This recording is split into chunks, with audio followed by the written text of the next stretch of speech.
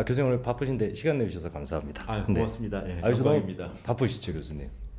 네. 아, 여기저기서 되게 그 많이 좀 그 방송 출연 문의도 많으실 것 같아요, 교수님. 네. 네. 최근에는 좀 어떤 데 좀 나가서 가장 좀 인상 깊었다라는 방송이 좀 있었나요, 교수님? 어, 일단은 지금 이슈는 그 후쿠시마 그 셔리스 방류가 사회적 이슈가 되고 있고요.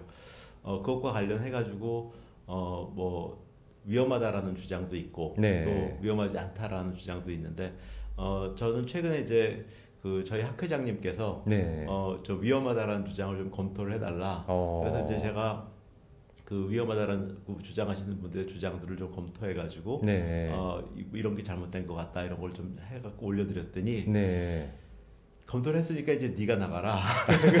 그래가지고 언덕한 어, 사람이 나가라. 네, 그래서 네. 이제 그 회장님이 그 요청이 들어오면 다 저한테 미루셔가지고 어, 제가 최근에 몇 군데 나갔습니다. 아, 그 학회장님이라고 한다면 네, 지금 백원필 학회장님이시고요. 아, 네네. 네, 저는 이제 차기 학회장일 예정인데요. 9월 달부터 네, 그렇죠. 바뀌신다고. 네. 네. 근데 그 검토해 달라 그래서 제가 그 검토해 줬는데 그게 이제 그 제가 쓰게 될 줄 몰랐죠. 그러니까 아무래도 이제 그 방송 출연하신 얘기를 하면은 최근에 나가신 것 중에서 제일 아무래도 화제가 된 거는 뭐 연합뉴스에도 많이 나가셨고 여러 방송에 출연하셨습니다만 KBS의 이제 주진우 그 더 라이브였나요? 네. 거기 이제 출연하신 게 가장 화제가 됐는데 제가 마지막으로 확인한 것만 해도 한 조회수가 한 16만, 18만 뭐 이 정도 나왔던 것 같아요. 네. 처음에 방송 출연했을 때만 하더라도 이게 한 3만, 4만 정도였던 것 같은데 네. 약간 좀 요즘 그 표현으로 역주행하듯이 네. 계속해가지고 이게 조회수가 지금 올라가고 있는데 약간 주변에서 좀 반응도 좀 있나요? 교수님 좀 어떤가요? 어, 저 이제 아 3만 4만 정도 됐을 때 네. 어, 저도 이제 그 봤습니다. 어. 그 댓글들이 아주 무시무시하더라고요. 그래서 제가 보통 댓글 잘 안 보는데 네네. 어, 어쩌다가 이제 댓글을 보게 되고 이제 한 며칠 동안 우울한 시간을 보냈는데요. 아 진짜요? 네. 근데 네. 이제 어, 어, 그 제 기억엔 그 서민 교수님이 네네네. 그 유튜브를 보, 시고 이제 뭐 평을 하셨던 것 같아요. 네. 근데 그 평을 듣고 이제 다른 분들이 어 그래 그럼 나도 한번 들어가 보자 그래서 막 들어와 보신 것 같습니다. 네네. 그러면서 이제 조회수가 늘어난 것 같고요. 어. 어 그러다 보니까 이제 그 주요 매체에서도 네네. 어, 그, 그 유튜브에 대해서 다루고 어. 그러니까 이제 점점 가속적으로 이제 많이 보는 상황이 됐는데 네네.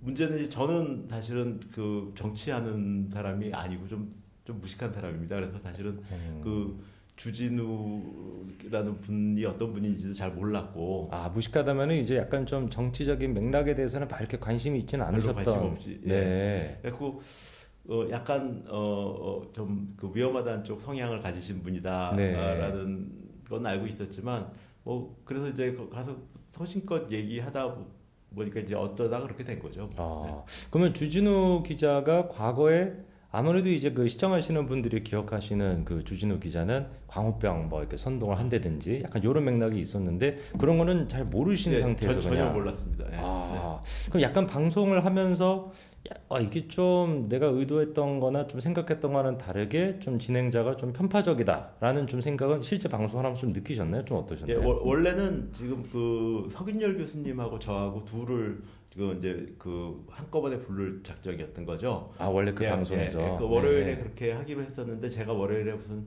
일정이 있어서 저는 못 하겠다 그랬더니 네. 그러면 월요일은 석윤열 교수님 모시고 음. 화요일은 이제 저, 저랑 하자 네. 해가지고 이제 그렇게 됐었던 것들이고요. 네네. 어 원래 석윤열 교수님이 저, 저랑 같이 토론하기 원치 않으시는 것 같아요. 저, 저희가 여러 번 뭐 공개 토론도 제안하고 했는데도 네네. 안 하셨는데 그 방송은 이렇게 하셨더라고요. 어. 근데 전 사실은 뭐 그 전후 맥락은 몰랐고 네네. 어 석윤열 교수님 오신다는 것도 몰랐고 네. 그냥 그 섭외가 들어왔는데 저는 월요일 날 안 됩니다. 어. 그랬더니 그럼 화요일 날 와라 그래 그냥 멋 모르고 갔었던 거고요. 어. 어, 어, 그, 또 이제 그, 그, 그분 이제 전후 라디오를 보고 그 네네. 전날 이제 석윤열 교수님이 발표한 걸 보고 아, 이런 분이셨구나. 아 주진우 기자. 네, 한- 한 느낌 이제 그날 그 전날 알았죠. 네네. 그리고 어 그래서 이제 아 이거 쉽지 그 않겠다. 쉽지 않겠다. 네네. 그래서 그냥 소신껏 얘기하고 어 계속 이렇게 꼬이면 어. 그냥 그냥 일어나서 나와야 되겠다. 자리를 박차고 나왔겠다. 네, 네 근데 네, 네. 뭐 그런 일은 없었습니다. 예. 아, 네. 제가 방송을 봤었을 때는 약간 주진우 기자가 진행자임에도 불구하고 답이 좀 어느 정도 정해져 있다라는 느낌이 좀 들었어요. 그래서 이제 자기가 원하는 답이 안 나왔을 때는 좀 뭐 말을 끊거나 아니면 이제 약간 제 느끼기에는 교수님은 이제 과학적인 데이터를 기반으로 계속 사실을 전달해 주는데 좀 때를 쓴다 이런 느낌도 있었는데 네. 오늘 제가 이제 좀 교수님한테 인터뷰를 좀 부탁드 렸던 거는 그때는 방송이 뭐 20분 정도밖에 안 됐었고 그리고 이제 주진우 기자가 좀 의도하는 그런 또 질문들도 있다 보니까 약간 교수님께서 그때 더 좀 추가적으로 하시고 싶었던 얘기가 있으셨을 것 같은데 못한 얘기를 오늘 좀 부가적으로 좀 해주시면 좋을 것 같아가지고 오늘 제가 자리에 좀 모시게 됐는데요. 일단 좀 그때 나왔던 주진우 기자가 했던 질문을 제가 좀 상기를 하면서 좀 질문을 들어보면 좋을 네, 것 같아요. 네. 일단 제일 처음에 나왔던 질문이 그거였던 것 같아요. 이번에 이제 후쿠시마 처리수가 아, 이번에 이제 방류가 되는 것이고 과거에 이제 그 후쿠시마 원전 사고가 있었을 때도 마찬가지로 방류가 됐는데 그건 이제 오염수라고 불 러야 되겠죠. 그렇죠. 그렇죠? 오염수랑 처리수 두 가지가 구분이 돼야 되는데 그때는 그렇게 문제가 됐는데 지금도 마찬가지로 문제가 되지 않겠냐라는 게 처음 아마 질문으로 나왔던 것 같아요. 이건 좀 어떻게 봐야 될까요, 교수님? 어, 그러니까 지금 어, 안전하냐 아니냐가 가장 큰 관심사인데 네네. 어, 안전하다라는 것들을 이제 보여줄 수 있는 여러 가지 방법들이 있겠지만 네. 어, 가장 첫 번째 방법은 2011년도에 후쿠시마 원전 사고가 발생했을 때 네. 어, 완전히 뭐 걸르거나 할, 뭐 처리를 하거나 할 겨를이 전혀 없는 상태에서 네네. 그 고농도 오염수가 바로 바, 바로 이제 바다로 방류가 됐었고 어, 그 당시에도 우리나라는 뭐 해양 계측이나 이런 측정 설비들이 잘 되고 있고 잘 운영되고 있었는데 네. 어, 전혀 이제 검출이 안 된 거죠. 일본의 후쿠시마에서 오염수를 방류했지만 그 방사선 영향이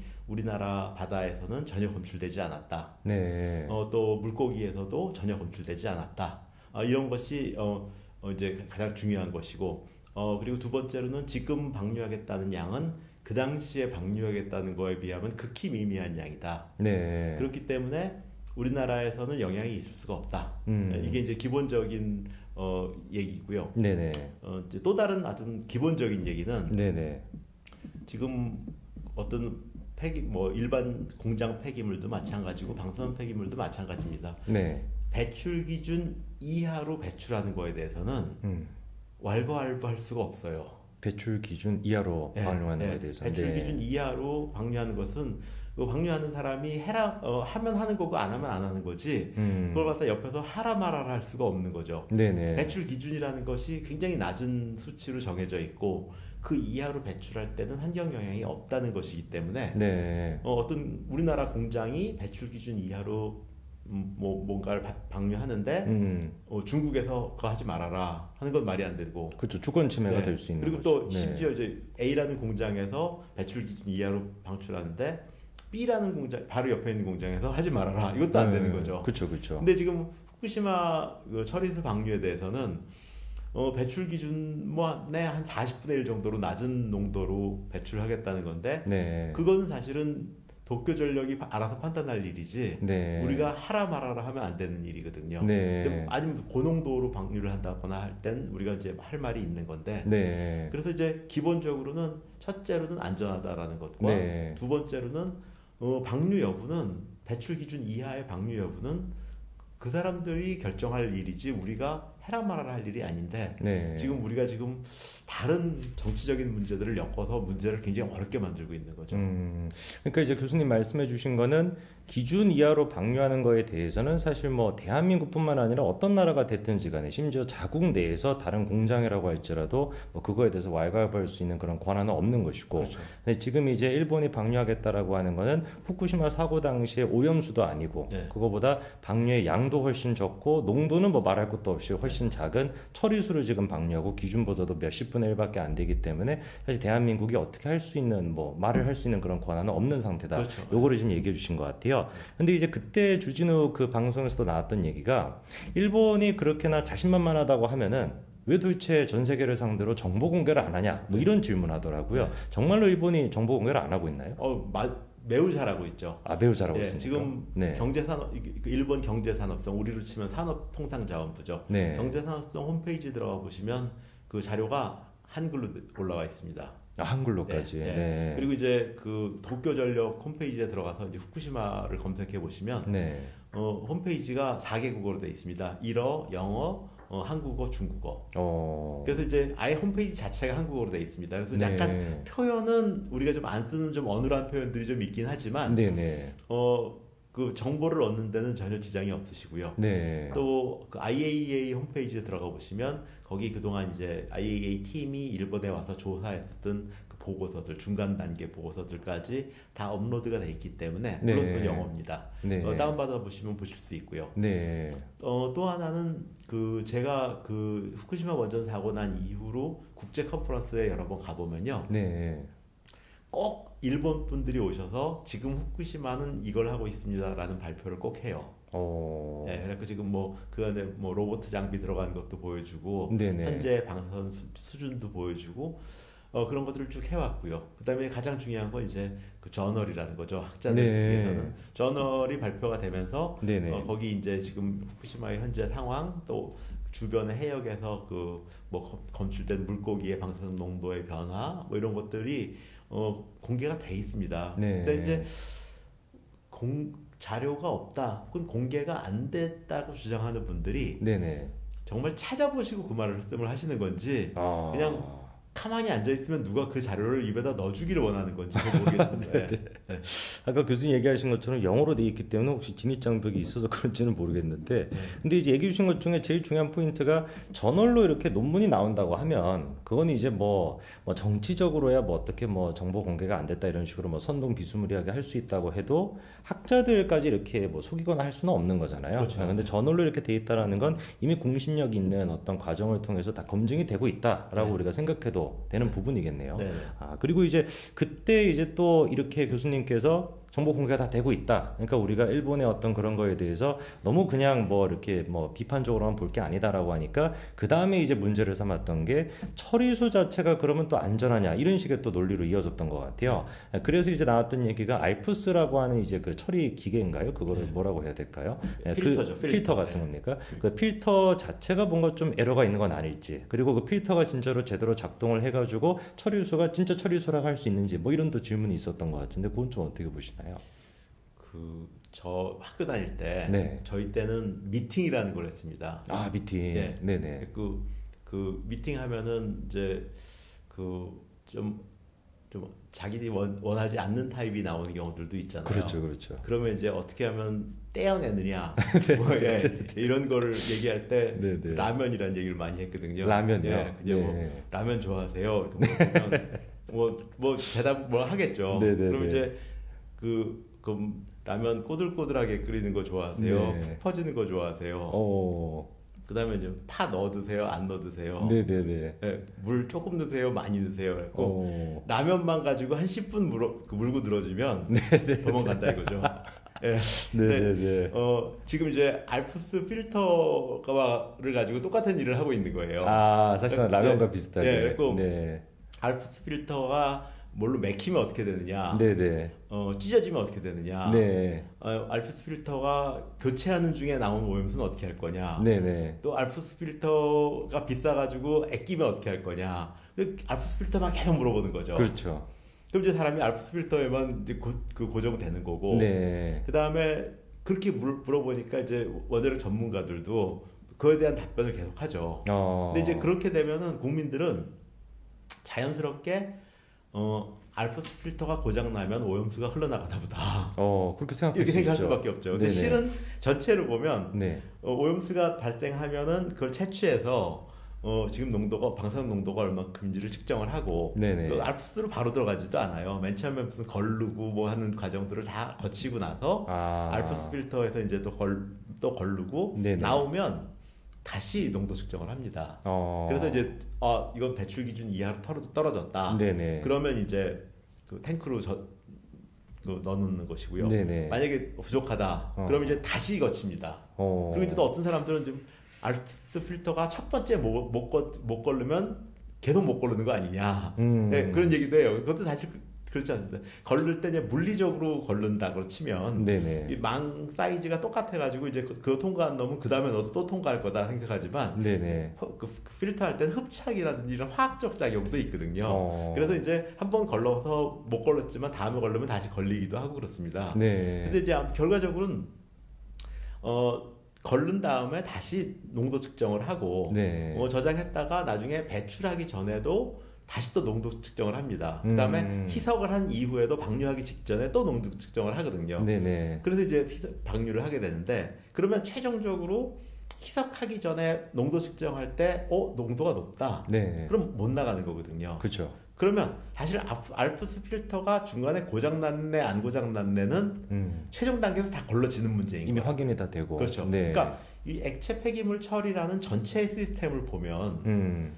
사실 알프스 필터만 가지고 그렇게 고집하는 문제는 아. 우리 아까 그 라면이랑 똑같은 겁니다. 아 그러네요. 네, 그래서 이제 이쪽의 네. 기법인 거죠. 아. 그러니까 이제 그 알프스, 알프스 얘기만 계속 하다 보면 국민들은 네네. 전체 시스템을 못 보고 이 네. 알프스로만 볼 수밖에 없어요. 어. 그리고 심지어 이제 전문가들도 거기에 말려 들어가서 네네. 사실 전체 시스템 얘기를 안 하고 계속 알프스 답변만 하다 보면 네. 어, 질문하고 답변을 다 했지만 네네. 여전히 국민들은 어, 그래도 알프스 고장 나면 문제야 이렇게 그렇죠. 생각할 수밖에 없는 거죠. 아, 그러니까 진짜 문제는 사실 따로 있는데 예. 내가 미팅 나온 상대방이 마음에 안 든다라고 하는 근본적인 문제는 있는데 괜히 그 라면 같은데 신경을 좀 쓰게 그렇죠. 되는. 예, 라면만 네. 얘기하면 얘는 머릿속에 라면밖에 없는 친구가 아. 이런 생각할 수밖에 없는 거고요. 그렇죠, 그렇죠. 네, 어. 그래서 이제 그 문제를 어, 크, 크게 보면은 문제가 아닌데 네. 그 중에 요 작은 그 하- 부분 부분 나눠서 보면 문제처럼 음. 보일 수가 있거든요. 네네. 그래서 이제 그 알프스나 어떤 처형 그 처리 계통의 어떤 특정 시스템에 대해서 어, 문제 제기를 하는 것들은 음. 이 전체 시스템을 못 봐서 그래요. 네. 그리고 또 하나는 지금 방류하고 나서도 네. 어, 저 모니터링 포스트를 방류 구 지점에 몇 군데 뒀어요. 그래서 거기서 이제 그 방류한 다음에 그 물을 채취해 가지고 방사능 측정을 합니다. 네. 그래서 이제 아 여기서 만약에 측정했는데 어, 어느 정도 이상의 방사선량이 나오면 중단하고 네. 문제를 찾는다. 이거 문제가 네네. 생긴 거니까. 그래서 방류한 뒤에도 계속 음. 모니터링을 하거든요. 네. 그래서 이제 거기서 뭐 만약에 초기에 어떤 문제가 발생돼 가지고 어 사람이 하는 일이니까 문제가 생겨서 고농도의 방사선수가 나왔다. 네. 그럼 이제 모니터링 포스트에 걸릴 거잖아요. 그렇죠. 그러면 이제 방류 중단하고 음. 재점검 하겠죠. 네. 그러면 그 정도가 되면 그 정도 양 가지고는 우리나라에 영향이 없거든요. 그렇죠. 어. 그 교수님 지금 얘기해 주신 걸 들어보면은 사실 뭐 알프스라고 하는 거는 어, 방류하는 과정에서 그냥 딱 일부분을 그렇죠. 차지하고 있는 한걸 불과한. 것인데 네. 예, 그거를 가지고 이제 뭐 침소봉대 하듯이 이렇게 크게 키워가지고 지금 하는 느낌이 있는데 말씀해 주신 거가 이제 제가 듣기에는 다 납득이 되는데 네. 저쪽에서는 또 주진우 같은 사람이 주장하는 바는 야 그러면 그거를 계속해서 모니터링을 한다고 하는데 네. 방류하기 전에도 하고 그리고 뭐 채취에서도 하고 몇 번 한다고 하는데 일본의 발표를 어떻게 믿을 수가 있냐 뭐 이렇게 주장을 한단 말이에요. 그렇죠. 그러면 그런 어떤 그 발표 결과에 대해서 일본이 일방적으로 발표하는 것 말고 뭔가 저희도 마찬가지로 나름대로 뭔가 좀 측정할 수 있거나 확인할 수 있는 그런 작업이 있나요? 있죠. 네. 어, 근데 우선 처음 그 이제 이 문제에 막 몰입해서 싸, 그 이제 다루다 보면 네. 어, 망각하는 게 있어요. 어, 일본이 오염수를 만약에 방류했다. 네. 고동도의 방사능 오염수를 방류했다. 그러면 제일 먼저 피해를 입는 건 자국민입니다. 아, 그렇죠, 그렇죠. 그러니까 자국민한테 피해가 있어야지 그 다음에 우리한테도 피해가 있는 걸지. 그렇죠, 그렇죠. 어, 자국민한테 네. 피해 없고 우리한테만 있을 수는 없잖아요. 음. 그러니까 일본도 자국민 보호를 한다라는 거를 가끔 잃어버리는 것 같아요. 아, 맞네요. 그렇죠. 그 부분은 많이 좀. 네, 그러니까 우리가 네. 뭐 어떤 문제에 몰입하다 보니까 네 네. 일- 일본도 국민이 있고 후쿠시마에 지금 그 어업하시는 분들이 있다라는 있죠, 사실을 있죠. 네네. 생각을 안 하시는 것 같이 자꾸 아. 느껴지더라고요. 근데 네네. 그게 있고요. 또 하나는 아까 질문과 관련해서는 어, 우리나라에 이제 그 환경 방사능 감시를 썩 잘하고 있습니다. 아, 우리나라가. 네, 네. 핸드폰에 eRad라는 핸드 그 앱이 있어요. eRad. 예, eRad라는 핸드폰 앱이 있는데 어, 거기 보시면은 이제 그 무료입니다. 네. 이제 우리나라에 130 몇 군데에 그 공간 방사능을 측정할 수 있는 모니터링 포스트를 두고 네. 거기서 이제 실시간으로 측정한 방사선을 보여줘요. 어. 그래서 제가 이제 뭐 충남을 간다 그럼 충남 딱 찍으면 거기 그 지점에 방사 그 환경 방사능이 딱 나와요. 네네. 그 앱에서 보시면 어, 해양수를 샘플링해서 음. 어, 세슘 137의 농도가 얼마인지 이런 것도 보여주는 것도 그 앱에 있습니다. 네네. 어, 그 앱, 앱이 나온 건 뭐 그리 오래되지 않았지만 네. 그 활, 이제 활동을 한 것들, 그러니까 공간 방사능을 측정을 하고 해수에 있는 방사선, 그 다음에 음.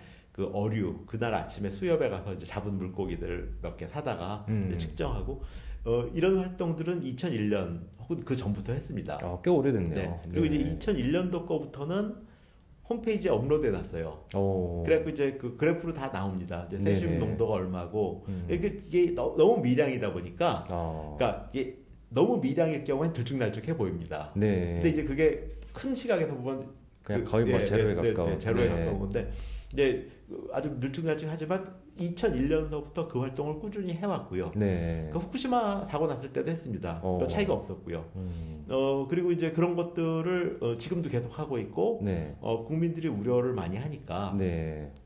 좀더 강화할 거고요. 네. 어, 지금은 뭐이 원자력 안전기술원이라는 데서 그 일을 했었는데 네. 그 어, 지금 수협에서도 또 그 일을 또 독- 독립적으로 또, 또 한다 그러더라고 해수부 네. 쪽에서 그래서 이제 아마 어, 두 개를 합치고 나면 아마 우리나라 한 70여 군데 해역에서 어. 물을 채취해 가지고 방사능 측정을 하고 어, 공개하는 일들이 계속 이루어질 것이고요. 네. 뭐 어, 그것 그게 이제 국가가 어, 뭐 정부가 해줄 수 있는 것이라고 생각합니다. 그렇죠. 아, 그러니까 실시간으로 일본이 공개하는 자료를 저희가 뭐 일방적으로 받아들이는 게 아니라 우리 네. 또한 마찬가지로 확인할 수도 있다. 요 얘기를 지금 해주신 것 네. 같고 직접 저희가 확인해 또 볼수 보여드릴까요? 있는. 네. 네네네. 대한민국 지도가 이렇게 나오고 네네. 거기 이제, 이제 초록색 풍선들은 이제 안전하다는 안전하다. 겁니다. 네, 어, 그리고 이제 그다 안전한데요 지금? 아무, 네, 아무 지점이나 딱 찍으면 그 지점에 네네. 이제 방사선량이 나오게 돼 있는 거고요. 네. 그리고 여기 여기 앱에 보면 업, 업도 있고요. 저 여기 제주도 옆에 여기 이어도가 오, 있는데요. 네네. 요거 이어도에 있는 거를 제가 2009년도에 설치해서 아 교수님이 설치하셨어요. 예, 그래서 이제 대통령 상을 받았습니다.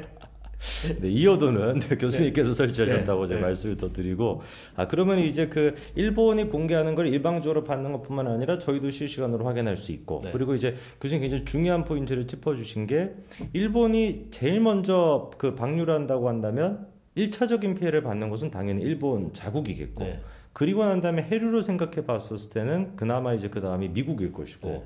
그리고 이제 뺑 둘러가지고 한 4, 5년 정도 지나고 나서 이제 뭐 대한민국에 도착한다 뭐 이런 얘기가 있던데 네. 근데 이제 제가 좀 궁금한 게 알프스를 통해 가지고 이제 뭐 여러 가지를 다 뭐 걸러낼 수 있다고 하더라고요.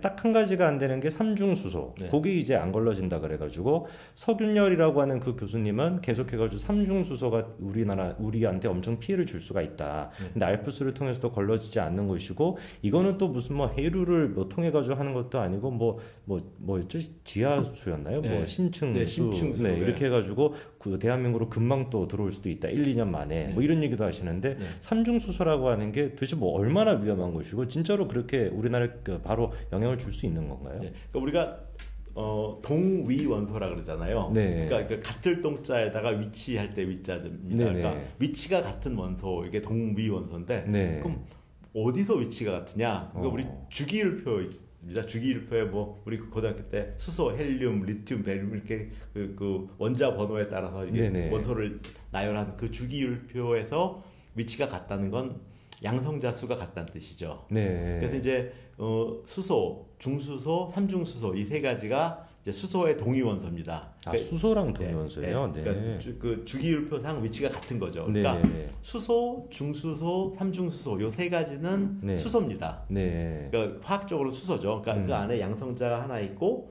전자가 하나 돌고 있는 게 이제 수소인 네. 거죠. 근데 이제 그 안, 핵 안에 양성자 하나만 있으면 수소라고 부르고 음. 그 안에 중성자도 하나 있으면 중수소라고 부르고 네. 중성자가 두 개 있으면 드디어 이제 삼중수소라고 부릅니다. 아, 그래서 삼중수소네. 그래서 이제 수소랑 중수소는 방사선이 없고요. 네, 네, 네. 삼중수소는 약한 방사선이 나옵니다. 아, 네, 네. 근데 이제 그 방사선이 알파선, 베타선, 감마선 이렇게 돼 있는데 네. 어, 알파선과 베타선은 별로 걱정을 하지 않아요. 네. 왜냐하면 알파선과 베타선은 거의 종이 한 장 있으면 막을 수 있거든요. 네. 그러니까 대부분 우리 피부를 통과하지 못합니다. 어, 그래서 이제 그, 방, 그 건강 뭐 보건학적으로는 알파선, 베타선은 별 관심이 없어요. 네. 그리고 감마선은 이제 투과력이 있으니까 우리 엑스레이 찍듯이 이제 관심이 있습니다. 근데 이제 거꾸로 먹었을 때는 네. 몸 안에 들어갔을 때는 이제 알파산 베타산이 못 나오니까 네. 오히려 거꾸로 알파산 베타산이 중요해질 수 있습니다. 어, 네. 그래서 이제 삼중수소는 우리가 이제 흡입하게 되면 주로 뭐 기체 상태로 이렇게 그 호흡에 의해서 마시는 것보다도 어 이제 물 물이 되는 거죠. 네. 우리가 물은 이제 수소 두 개랑 산소 하나 합쳐져서 H2O라고 부르는데. 이제 그 H 중에 하나가 그 이제 삼중수소 T로 바뀌는 거죠. 어. 그리고 HTO가 되거나 네. 아니면 뭐 T2O 이런 식으로 했고 네. 그물 물입니다. 물. 아, 그럼 사실 물과 뭐 큰 물이죠. 그러니까 네. 그러니까 어 물은 물은 필터를 통과한대더라. 그러면 사람들 웃길 거 아니에요. 당연히 통과하는 그래. 거니까. 네. 그러니까 삼중수소 수도 당연히 통과하는 거죠. 예, 예, 예. 근데 네, 그게 네, 뭐 삼중수소는 뭐못 먹는 데더라. 그러면 아, 그게 그, 예, 그뭐 네, 네. 뭐, 이 시, 시골 사람들이 서울 사람들은 하루에 500원도 쓴다더라. 네, 뭐 네. 그러니 뭐, 뭐 네, 이게 네. 무슨 하여튼 왜 웃긴지 웃긴 얘기잖아요. 네, 네, 네, 예, 네. 그런 것처럼 어 삼중수소 수도 물이기 때문에 네, 네. 당연히 필터 통과하는 거고요. 네, 네. 어 이제 그걸 만약에 우리가 마시게 되면 네.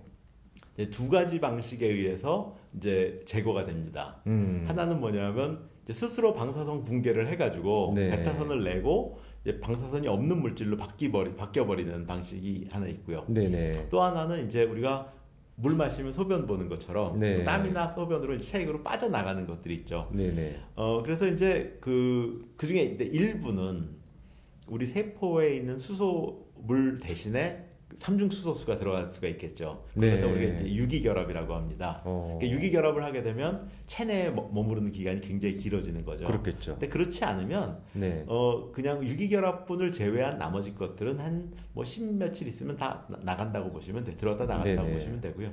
유기결합분이 2점 몇 퍼센트밖에 되지 않아요. 네. 그래서 어 오히려 우리가 마시는 커피가 네. 어 커피 한 잔이 그 훨씬 더 위험합니다. 아. 예, 그뭐 삼중수소 그거보다 네. 바나나나 커피가 이런 것들이 훨씬 더 많아요 양이. 네, 네. 그래서 삼중수소수를 그렇게 걱정할 필요 없고요. 네, 네. 우리 지금 뭐, 어, 뭐, 배출 기준이 6만 베크렐이다. 네. 어, 라고 얘기하는데, 어, 6만이면 되게 큰 거 아니냐. 네, 네. 그럼 6만 하면 6 곱하기 10의 4승 이렇게 되는데, 네, 네. 우리 아보가드로수는, 음, 10의 23승 이렇게 되잖아요. 어. 그러니까 이제 분자 1모를 만들려면. 그러니까 네, 네.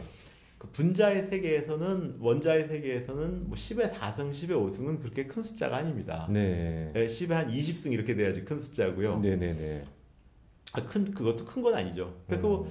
실은 우리 그 시계 여기 야광 이렇게 도료로 이렇게 네, 돼 네, 네, 있는데 네. 그게 대충 한 2억 베크렐 됩니다. 아, 거기 예. 형광 예, 들어가는 예, 그것만 그게. 그게 삼중수소거든요. 어. 우리 이제 그 군대 가서 소총에 보면은 이제 네네. 가늠 새가 있고 가늠 자뭐 자가 네네. 있고 이렇게 이제 보면 여기 그, 그 야광 물질이 들어가 있어가지고 네네. 밤에도 볼 수 있게 해놨는데 그것도. 삼중수소입니다. 어. 이게 삼중수소 많이 쓰이고 있고요. 예, 어. 예. 그럼 지금 공기 중에도 대기 아, 많이 중에도 있죠. 예. 아, 그. 삼중수소는 네. 그 자연에서 자연적으로 생깁니다. 어. 그러니까 우주선하고 대기와의 그 상호작용을 통해서 네.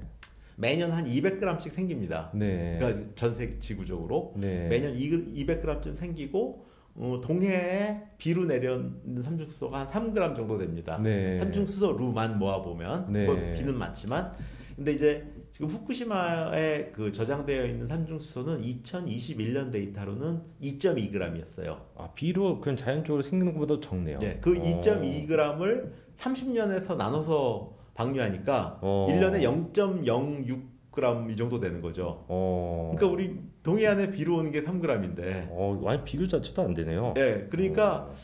그 삼중수소 두려워할 이유가 별로 없죠. 예. 아, 교수님, 근데 제가 환장한 얘기가 지금 얘기해 주신 것처럼 자연 상태에서 이렇게 발생하는 삼중수소가 있고, 그리고 이제 그 양에 비교해 봤을 때 이제 후쿠시마 처리수에 들어가 있는 건 얘기해 주신 것처럼 뭐 0.06g 이 정도밖에 안 된다라는 건데, 그쪽에서 이제 주진우 이런 사람들이 하는 얘기는 그 삼중수소가 이 삼중수소랑 같냐 뭐 이런 식으로 얘기를 해요. 요컨대 이제 뭐 후쿠시마 사고가 발생했던 그런 오염수인 것이고 이거는 자연 상태에서 발생하는 건데 이거 어떻게 막 똑같냐 뭐 이런 얘기하는데 이거 어떻게 봐야 되는 거죠? 무식한 거죠. 아, 그러니까 그 어, 이제 그 과거에 이 일이 있기 전에 네네네.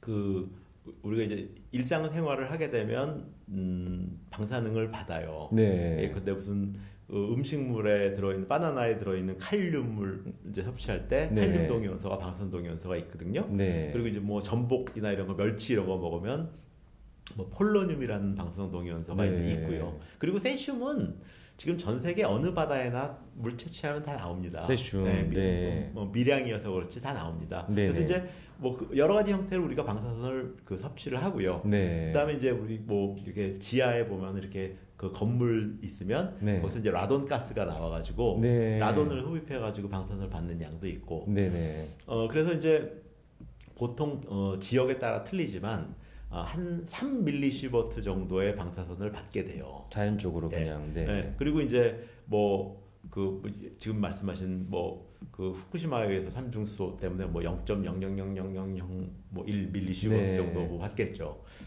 근데 그런 거에 대해서 이제 그 반핵 활동하시는 분 중에 네. 어 인공 방사능과 자연 방사능은 다르다. 그러니까요. 네네. 그 자연 방사능은 게- 괜찮지만 인공 방사능은 안 된다. 네네. 어 그거는 말이 안 되는 게 뭐 원소가 인공이고 방사능이 어딨어요. 네, 네. 그래서 네. 이제 그 뭐 사고가 났건 아니면 정상 운전 중에 나온 방사성 폐기물이건 네네. 농도가 중요한 거지. 네네. 뭐 사고 나서 나온 방사선은 더 위험하고 네네. 정상 운전 중에서 나오는 방사선은 뭐 덜 위험하고 이런 건. 아니죠. 결국은 그렇죠. 배출할 때 농도의 문제인 거죠. 농도로 따지면 되는 건데 아, 요즘 그분들 하는 얘기 들어보면은 진짜 뭐 정권 따라서 해류 방향도 바뀌는 것 같고 네. 원소도 뭐 이렇게 뭐 종류가 바뀌는 것 같아요 정권 따라가지고 똑같은 이제 원소일 뿐인 것이고 자연 상태의 어떤 그 뭐 그거나 뭐 인공적이거나 뭐 당연히 똑같 은 거다 네. 이 말씀을 지금 해주신 것 같, 같고요 그 이제 그 아까 세슘 얘기를 좀 해주셔가지고 교수님 이번에 이제 뭐 우럭이 또 뭐 발견됐다 그래가지고 기준치 180배 가까이 되는 네. 이것 때문에 좀 같은 저희 쪽에서도 야 이거는 좀 위험한 거 아니냐 이런 반응이 있더라고요. 이거 어떻게 봐야 될까요? 어 이제 그 후쿠시마 사고 난 다음에 네, 어 이제 초기에 어 이제 300톤씩 이제 막 그 방류를 했죠. 그 네네. 정도의 오염수를. 근데 이제 그래서 어 당연히 이제 거기서 어, 어로 활동도 하고 해야 되니까 일본에서도 네네. 그건 굉장히 중요한 관심사죠. 네. 그래서 어 바다를 세 개의 구역으로 나눴습니다. 어, 그 첫 번째 구역은 내항입니다. 네, 이제 원자력 발전소에 보면은 발전소에 필요한 부품들을 실어나르기 위해서 조그만 항구가 있어요. 어, 네, 그 이제 그건 이제 방파제로 되어 있고 네네. 뭐 조그만 어선들이 피신할 수도 있겠지만 보통 그, 그 외부 어선들은 들어오지 않고 네, 그 안에서 뭐 시료 채취선이나 이런 것들이 있고 이제 운반할 때 필요한 건데 그쪽을 통해서 방류를 했거든요. 네, 그러니까 이제 내항이라는 건 이제 방파제로 둘러싸여 있는 항구입니다. 네네. 그리고 이제 요, 요 입, 입구만 열려 있는 거고 또 내항이 있고 그 다음에 20km 지점 반경으로 해서 안쪽 네, 그다음에 바깥쪽 이렇게 세 군데로 나눠서 이제 어류를 시- 샘플링 해가지고 이제 그 방사능 농도가 얼만큼 돼 있는지 이런 걸 측정을 합니다. 네, 어 근데 이제 내항은 어 이거 틀림없이 오염돼 있을 거잖아요. 그쵸. 방사능 물질을 내보냈으니까. 네네. 그래서 내항은 고기 그 가두리 양식장처럼 그물로 쳐놨습니다. 아 예, 내양에는 예, 그래서 네. 이제 물고기들이 출입을 못하도록 물론 작은 건 하겠지만 네, 어 그래서 이제 그 내항 그다음 20km 안쪽, 20km 바깥쪽 이 세 군데의 물고기를 이제 샘플링 해가지고 네, 어 거기서 이제 방사능 농도 측정한 막대 그래프 같은 것들이 있어요. 들쭉날쭉합니다. 그래서 이제 그 기준선이 있어서 가끔 기준, 기준 선 근처까지 간 놈도 있고 네, 그, 뭐 작은 놈도 있고 왔다 갔다 합니다. 근데 이제 2013년 정도가 되면 네, 어 20km 안쪽이건 20km 바깥쪽이건 내항을 제외하고는 기준치를 넘는 물고기들은 발견되지 않아요. 어, 그리고 이제 내항에서는 가끔씩 기준치를 넘는 것들이 툭툭 나옵니다. 네네, 근데 이번에 이제 발견된 것들이 내항에서 나왔거든요. 아 내양에서 그러니까 네. 이제 이 말씀은 이거는 어, 민들이 어로 활동을 통해서 잡은 물고기가 방사능이 높았던 게 아니라 네, 이 지역이 얼마나 오염되어 있는지 오염이 저- 얼마만큼 줄어드는지를 확인하기 위해서 샘플링한 물고기고 네, 식탁에 오르는 물고기랑 다른 물고기입니다. 아, 예, 그 근데 이제 문제는 네네, 언론에서는 이걸 갖다가 내항 그리고 뭐 내항이 가두리로 막혀 있다 네네, 이런 언급을 안 하고 네. 그냥 후쿠시마 앞바다 그러니까요. 하니까 어 그러면 내가 먹은 것 중에도 어쩌면 있는 거 아니냐 그러니까, 할. 수도 있는 거고 그다음에 두 번째로 말씀드린 건 이제 그 문턱 값이라는 게 있는데 네. 이제 어떤 어 우리가 이렇게 딱 쳤을 때 어, 이거 어느 정도 힘부터는 아프기 시작할까? 네. 그 전에는 안 아프다가 이제 안 맞이다가 어느 네네네. 이제 어느 순간이 되면 펀치가 되는 거냐? 어, 그렇죠. 그렇죠. 그다음에 이제 뭐 그 바닥에 있는 상자를 이렇게 미는데 정말 약한 힘으로 밀 때는 분명히 힘을 주고 있는데 아- 안 움직이다가 네, 네. 움직이기 시작이기 시작하는 시점 그걸 네네. 우리가 문턱값이라고 부릅니다. 문턱값. 이제 영어로 네. 스트레시홀드죠. 네. 근데 이제 방사선에도 스트레시홀드라는 게 있어서 네. 어, 어느 정도 이하의 방사선을 받았을 때 차이가 없는 거예요. 음. 뭐 백혈구를 뽑아보든 벽- 적혈구를 뽑아보든. 근데 어, 가장 인체에 민감한 게 이제 적혈구입니다. 네. 그러니까 방사선 받았을 때 어, 나 받은 것 같다 그럼 적혈구 적혈구 뽑아보시면 개수가 줄어 있어요. 어. 예, 그러니까 가장 민감한 거니까 그러니까 상식적으로 한번 알, 알아두시면 됩니다. 네, 네, 네. 근데 이제 방사선 받았을 때 드디어 이제 차이를 보이기 시작하는 문턱값이 그러니까 네. 암이 걸리는 게 아니고 차이를 보이는 문턱값이 뭐 건강에 네. 해로워진다라는 것도 아니고 그냥 예, 차이가, 좀 나타나는 나타나는 지점이 네네. 이제 100밀리시버트입니다. 100밀리시버트. 네. 어, 그러면 이제 어, 이만큼은 안 받았으면 좋겠다 할수 네네. 있죠. 그래서 이걸 기준치는 그거의 1%인 1밀리시버트로 잡아놨어요. 어. 그러니까 기준치를 초과한다 할 때 그 기준치가 네, 네, 여기에 네, 네. 1밀리. 그러니까 이제 그 기준치의 10배를 받았다 그러면 10밀리시버트 받은 거잖아요. 그쵸. 그럼 아직 100밀리시버트로서 많이 떨어져 있지만 그렇죠. 그러니까 기준치의 10배다 그러면 벌써 걱정하기 시작하는데 어머 심각한 것 네, 같은데. 과학적으로는 사실은 그렇게 걱정할 일은 아닌 거죠. 네. 어 그래서 이제 그 기준치를 이퀄 허용치랑 동일시하는 것 같습니다. 아, 네. 그러니까 기준치의 10배다 이걸 갖다가 마치 네. 허용치의 10배다로 느끼면 이건 큰 문제인 거죠. 그렇죠. 그래서 이제 기준치의 뭐 100배다 그러면은 아 이게 그 약간 변화가 생- 발생하는 시점이구나. 네. 뭐 이렇게 생각하시면 되고요. 어, 또 가장 중요한 포인트는 이 세슘 우럭은 네, 네. 2011년도에 사고 당시에 방류했던 그 오염수의 영향으로 만들어진 생선이잖아요. 그렇죠. 근데 지금 방류하겠다는 처리수는 네, 네. 그 물을 깨끗하게 정화해서 배출 기준 미만으로 만들어서 보내게 내버리는 거기 그렇죠. 때문에 네. 얘랑 얘랑은 다른 물인 거예요, 실은. 그렇죠.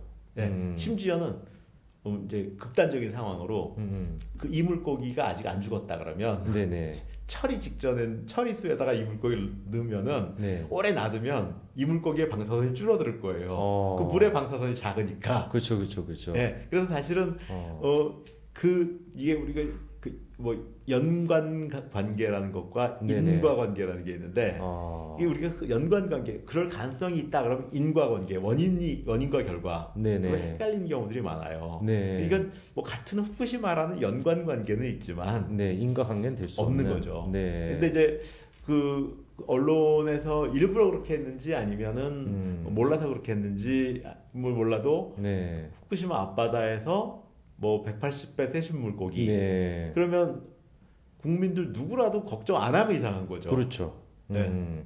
어, 그래서 지금 굉장히 중요한 포인트를 많이 짚어주신 것 같은데, 그러니까 언론 보도가 되는 거는 그냥 후쿠시마 앞바다에서 뭐 세슘이 기준치 180배가 넘는 우럭이 발견됐다. 이렇게 이제 나오니까 일반 국민들이 듣기는 어 그러면 내가 먹는 우럭에도 뭔가 일본산 수입품이라고 한다면은 네. 이 친구한테 세슘이 들어갈 수도 있겠네라는 걱정이 되지만 교수님이 짚어주신 얘기 세 가지가 일단 첫 번째가 애당초 이 우럭 이번에 발견된 그 우럭은 후쿠시마 사고 당시 오염수로부터 영향을 받은 친구인 것이고 지금 처리수와는 아무 상관이 없는 그런 친구인 것이고 두 번째가 이것도 그냥 뭐 어민들이 이번에 뭐 건진 게 아니라 그냥 완전히 샘 플링을 하기 위해서 네. 그러니까 딱 한정된 범위 내에서 실험 용도라고 봐도 되는 거의 네. 뭐그 정도의 친구를 이제 건져낸 것이고 마지막에 이제 세 번째 찝어주신 것 같은 경우는 애당초 기준치라는 것 자체도 뭐 180배가 됐다라고 해도 뭐 그게 우리한테 직접적으로 뭐 건강에 영향을 주기보다도 그러니까 완전히 그냥 아주 뭐그 어, 보수적으로 그냥 수치를 정해놓은 것 뿐인 것이지 그 기준치를 뭐 넘었다 해서 그것도 뭐 큰 문제가 되지는 않는다. 네. 그러니까 뭐 세 가지 정도로 봤었을 때는 아예 그냥 뭐 걱정할 필요가 없는 그런 네. 우럭이었던 거네요. 네. 네. 뭐 다, 어, 통째로 다 드셨으면 아마 엑스레이 한 방 정도. 예, 예, 예. 네네. 요 친구를 통째로 다 먹으면 네, 엑스레이 네. 한방 정도 맞아요. 네, 네, 알겠습니다.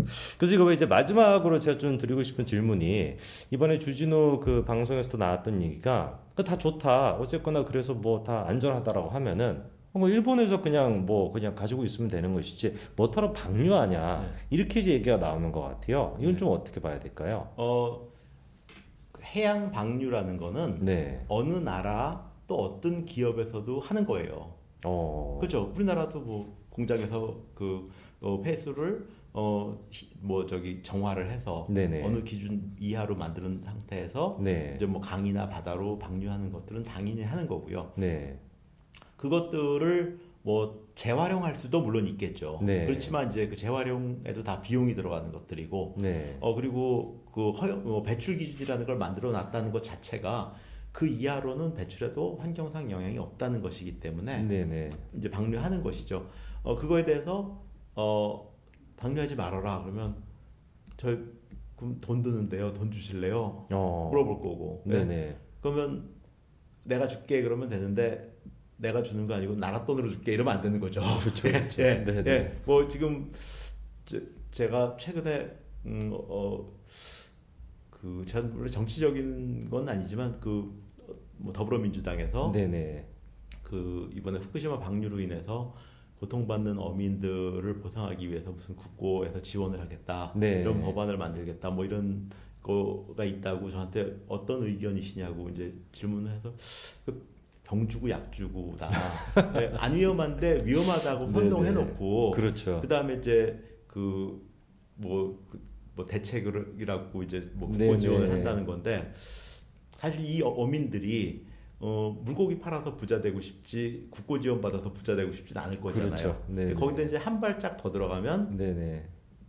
어, 병은 내가 주고 네. 약은 나라 돈으로 주는 거잖아요. 예, 예. 그래서 네네. 이제 제 페이스북에다가 어, 네. 가로 열고 어, 저기 내가 병 주고 나라 돈으로 약 주고 뭐 이렇게 병 주고 약 주고도 아니네요. 네, 네. 뭐 그런 얘기 했는데.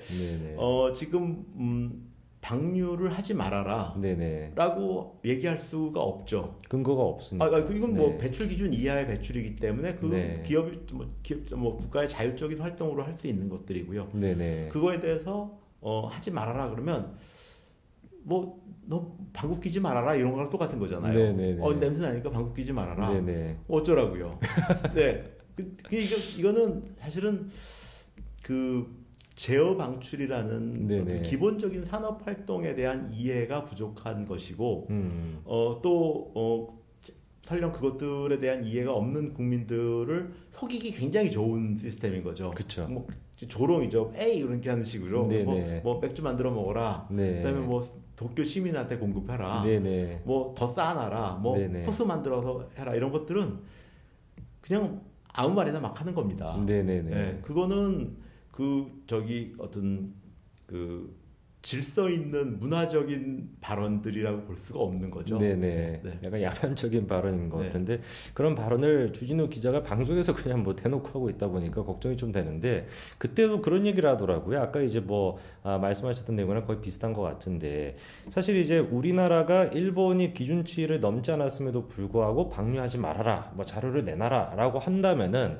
사실 똑같은 논리에 따라서 중국이나 일본도 우리한테 똑같이 그렇게 요구할 수가 있는 거잖아요. 그렇죠. 너희도 방류하니까 뭐 너희도 자료 내놔라 뭐 이런 식으로 우리도 시찰단 보내겠다라는 식으로. 근데 저희가 좀 생각해 봐야 되는 게 이런 얘기를 했을 때 주진우 기자의 그때 반응이 아니 우리나라가 방류하는 거랑 일본이 방류하는 거랑 어떻게 똑같냐? 일본은 후쿠시마 사고가 있던 나라인데 이렇게 이제 반문하더라고. 이거 네. 어떻게 봐야 됩니까? 아까 그런 같은 거죠. 네. 천연 방사능, 인공 방사능. 사고 나서 나온 방사능은 안 되고 네네네. 정상 운전에서 나오는 건 되고 네네. 그게 아니고 농도가 낮은 건 되고 네네. 농도가 높은 건 안 되는 거고요. 네네. 어, 지금 이제 그 지금 오해나 어떤 이런 것 때문에 어, 수산업의 위기를 맞는다거나 네. 어민들이 고통을 받는다거나 하는 것들이 이제 국내적으로 걱정되는 일이라면 네. 저는 국제적으로 걱정되는 일도 좀 생각해 보셔야 된다고 생각해요. 국내적뿐만 아니라 예. 국제적으로. 예, 왜냐하면 어, 이전 정부에서 그 IAEA 총회에서 네네. 어, 우리 대표단이 가서 어, 후쿠시마 그 처리수 방류에 대해서 이의 제기를 했어요. 어, 네. 근데 거기에 호응해준 나라가 하나도 없었습니다. 아, 진짜요? 네. 그러니까 일종의 나라 망신인 거죠. 어. 그러니까 어, 합리적이지 않았으니까. 네네. 어, 지금 최근에 이제 G7 국가에서 어, 처리수 방류에 대해서 어, 이제 공감을 해줬습니다. 네네. 그렇다면 어, 지금 그 우리가 이렇게 반대를 하는데 전 세계에서 만약에 우리만 반대한다 그러면 네네. 우리가 이상한 나라 되는 거잖아요. 그렇죠. 그러면 사- 우리나라 물건도 잘 안 사줄 것 같고. 네. 그래서 저는 그 어떤 국제 사회에서의 음. 그 우리나라 위상도 생각하면서 네. 국내 정치를 해주셨으면 좋겠다. 네. 그러니까 국내 정치에서 음, 좀 우위를 점유하겠다고 어, 나라 체면까지 깔까서는 안 될 것 같다. 네. 뭐 이런 생각입니다. 이거는 진짜 음. 심각한 일이죠. 완전히 그 대한민국 망신을 끼치고 있는 일이다라고 얘기해 주신 것 같은데 사실 이제 이런 부분에 대해서 뭐 저쪽에 있는 분들은 일본이 전 세계를 매수한 거다 뭐 이렇게도 이제 얘기하는데 그건 뭐 사실 병적인 증상이라고 봐야 될 것 같고 그러니까 뭐 오늘 교수님 쭉 이제 그 어, 사실상 주진우 방송에서 나왔던 얘기들을 저희가 다 전반적으로 다룬 것 같은데 혹시 네. 마지막으로 좀 해주시고 싶은 말씀 있으면 듣고 마무리하겠습니다. 네, 지금 그 저는 어, 우리가 어, 어떤 병을 앓고 있는 것이 아닌가 싶은 생각입니다. 네. 뭐냐면 어, 우리가 그동안 열심히 노력을 해서 어, 뭐 산업적 성과도 이뤘고 경제 발전도 이뤘고 굉장히 잘 살게 됐죠. 네. 그리고 어, 우리나라 규모에 비해서 세계 10위의 교육국이고 또 외국 어디 나라 가봐도 굉장히 좋은 나라고 네. 치안도 좋고 뭐 요즘 뭐 그 과거랑 비교해 보면 이제 과거의 사람들이 이제 요- 요즘 사람을 뭐 요즘 보면은 굉장히 놀라울 일들이 많습니다. 그러니까 예컨대 매일 음 도시락에 고기가 나와. 어. 이거 굉장히 신기한 일일 수도 네네네. 있어요. 1960년대나 50년대 사신 분들이나 네네네. 그 전에 사신 분들은 고기를 그렇게 매일 먹는다고 할 수도. 있어요. 네네. 그다음에 저희 초등학교 다닐 때는 일일 생활권이라 그랬다고요. 네. 그러니까 대한민국을 하루 만에 간다. 근데 아. 지금은 하루가 아니고 두 시간이면 가거든요. 그렇죠, 그렇죠. 그러니까 이- 눈부신 발전. 그리고 저희 초등학교 다닐 때는 어 뭐 뭐 2000년이 되면 모든 집에 자가용이 있다라는데 아무도 안 믿었어요. 네. 아, 저 아닐 거다. 네네. 근데 됐거든요. 네네. 그리고 지금 뭐 부자든 가난하든 대부분 다 스마트폰 쓰시고 네네. 그리고 살 찌는 게 문제지 빠지는 게 문제인 건 아닌 거고요. 그렇죠, 그렇죠. 그러니까 굉장히 우리 잘 살고 풍요롭게 살고 있거든요. 물론 이제 어, 빈부라는 거는 어떤 비, 상대적인 가치이기 때문에 네네. 고통스러울 수는 있지만 과거와 비교해 보면 이제 세상은 점점 좋아지고 있는데 네. 어, 이 세상이 나빠지고 있다라고 자꾸 생각하거나 어, 그런 것들이 이제 하나의 큰 병증이고요. 어, 이제 두 번째 병증은 그 우리가 그동안 성장했었던 것들을 이제 부정한다거나 네. 이런 것들이 이제 두 번째 병증이고요. 네네. 어, 그 다음에 이제 뭐 지난 정부에서 탈원전이라는 것도 했지만 어, 이제 탈원 원자력 발전소 없으면 더 좋아질 것 같지만 사실 더 좋아지지가 않았던 거죠. 그렇죠. 적자도 나오고 네네. 네. 그러니까 이제 또 그, 그런 것들이 과연 우리가 이제 요즘 그 생각 없이 어떤 포퓰리즘 따라서 뭐 왔다 갔다 하다 보니까 어, 우리가 어떤 성장의 동력을 잃어가는 것이 아닐까. 네. 그러니까 사실 후쿠시마도 나라 전체가 이렇게 매달릴 만한 사안이 아니다. 네. 왜냐하면 2011년도에 사고 났을 때 막 방류했던 양 때도 아무 문제 없었고 그쵸. 지금은 그거에 천분의 1도 안 되는 양을 방류하겠다는 건데 네. 우리가 왜 거기 신경 쓰고 살아야 되는가? 네. 우리 자기 자, 생업 있고 저도 이제 학생 논문 검토도 해주고 해야 되는데 네네. 어왜 우리가 그런 문제에 매달려서 어, 국론을 그 저기 뭐 분열시키고 또 다른 중요한 일들을 못 하고 있는가? 이것들이 결국은 그 성장을 저해야 하는 병에 온 것이 아닐까? 그렇죠. 네. 어, 좀 뭐- 저는 그 약간 이 그 뭐 탈원전 때도 마찬가지고 후쿠시마 때도 마찬가지고 우리가 이 문제에 관심 두지 않고 전문가들이 잘할 수 있게 내버려두면 잘 될 일을 갖다가 네. 왜 자꾸 이 없는 문제를 만들어 가지고 음. 어떤 열심히 일할 사람을 일 못하고 방송에 나오게 하고 네, 이러는가 이런 것들 네, 좀 네. 어, 서글픈 생각이 듭니다. 네. 자, 그래서 아마 지금 영상을 보시는 분들도 이게 뭐 하루 이틀의 문제가 아니었기 때문에 사실 대한민국이 몇 번이나 이렇게 중요하지 않은 문제를 정치적인 목적 때문에 키우고 네. 그것 때문에 이제 사실 모든 피해가 일반 시민들한테 돌아가는 경우가 한두 번이 아니었는데 이번 경우만큼은 어 약간 좀 뭐 또 총선이 다가오고 이러다 보니까 어 어느 쪽에서는 정치적인 목적을 가지고 계속 뭐 사생결당 하듯이 좀 밀어붙이는 것 같은데 또 오늘 영상을 보신 분들은 교수님께서 워낙에 설명을 잘 해 주셔가지고 더 이상 이 문제에 대해서 이렇게 뭐 선동당하거나 거짓에 속는 일은 아마 없으시지 않을까 싶습니다. 오늘 교수님 너무 말씀 잘 해 주셔가지고요. 좋은 시간 내주셔서 감사합니다. 네, 불러주셔서 고맙습니다. 감사합니다. 여기까지 말씀드리겠습니다. 네, 네. 감사합니다. 네.